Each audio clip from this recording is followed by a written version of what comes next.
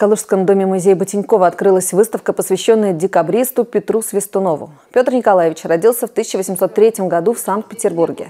Воспитывался в пансионе, а затем в пажеском корпусе. По окончании обучения служил корнетом в кавалергардском полку. Во времена восстания декабристов был членом петербургской ячейки Южного общества. После подавления бунта Свистунова приговорили к 25 годам каторги. Впоследствии срок сократили сначала до 15, а потом до 10 лет.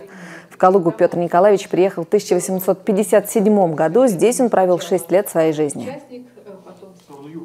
Дом э, Гавриила Степановича Ботинкова очень тесно связан с именем э, декабриста Петра Николаевича Свистунова. Э, в этом зале нередко бывал Петр Николаевич, встречался с членами комитета по отмене крепостного права.